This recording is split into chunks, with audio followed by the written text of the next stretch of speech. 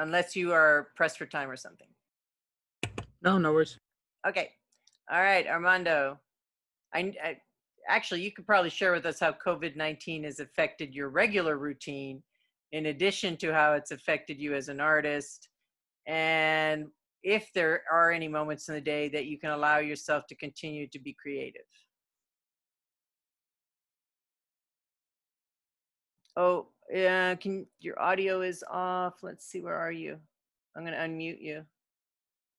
Got it. Are you? Am I there? Can you hear me? Uh, Can you hear me now? yes, thank you. All right.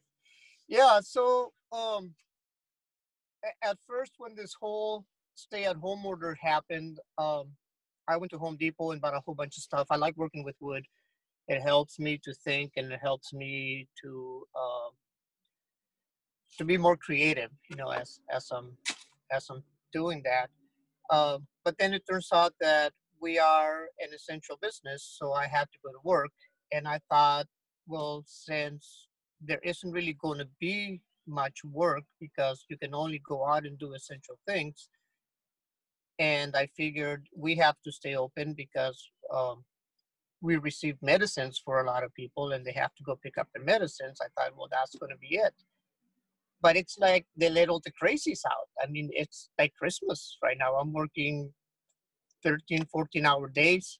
Um, so I try to um, I try to go through some of the old scripts in my head when I have a couple of minutes, you know, go back in the office and read a couple of the scripts and um, some of the monologues from last semester and try to do them as different personalities. You know, one of the things that um, and it has to do a lot with the culture I come from. But one of the things that I never thought, or that I always thought I would never take a role as, would be as a gay person.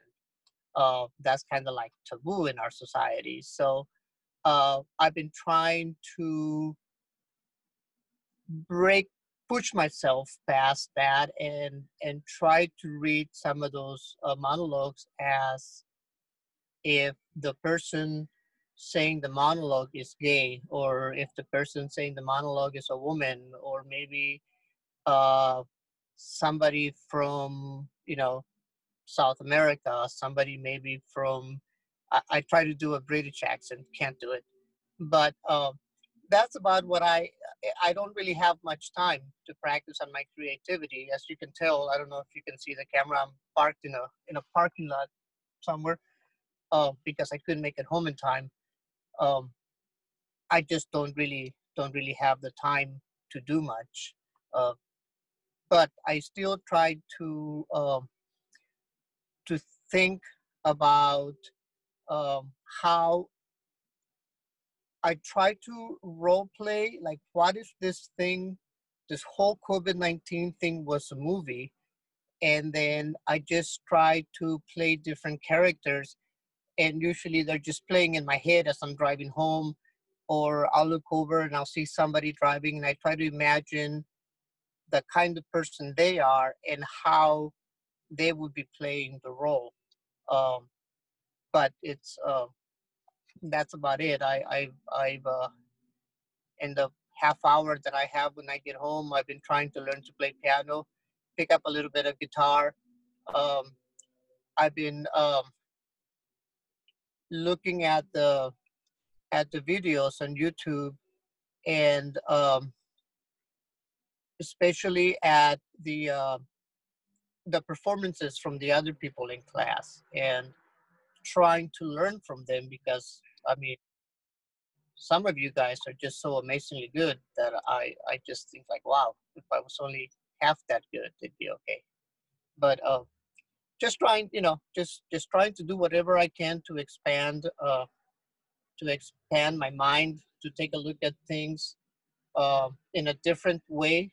Um I, I guess it helps that um, i'm from a generation where we didn't really have video games and a lot of the games that we played as children we had to imagine or pretend that we were in the moon or we were on an airplane or that we were doing whatever we were doing because we didn't really have uh, the video games to, you know, to be able to play and, and pretend all this stuff. And so I, I try to do that a lot. Um, and that that's about it. How would, for example, um, somebody from Texas uh, read the monologue on the the Big Lebowski, Lebowski or how about uh, like a Samoan? You know, how would a Samoan read the Great Lebowski? Or how would somebody from India, you know, Mm. how would that how would that accent come out trying to read, or or even from those cultures trying to understand his mentality or you know the California lifestyle, you know the laid back, you know surfer type of deal. So No, that's great. You're you're stimulating your imagination and giving yourself challenges, which is how we expand our palette. So I think early on kind of the big the big thing was just that a lot of these production companies are closing down. So it's like um, you know, I was hoping maybe by the time summer hits I was gonna move to LA and um, start looking for work. So um, obviously I'm waiting. Um, and but but in terms of uh, uh, otherwise like it's just like a lot of free time to do stuff. Um, obviously doing some things related to some of the classes, uh, but also a few little side projects. Um, and actually, one of the thing that I'm spending kind of a lot of time on is uh, this project of uh, colorizing and animating like old uh, photographs from like the really early World Cups to try to like make some of those moments uh, come to life. Mm. Um, so yeah, that's that's what I'm doing. It's, it's a lot of fun for me. Pretty pretty nerdy though. No, I think that sounds great. yeah, thanks. That's fun.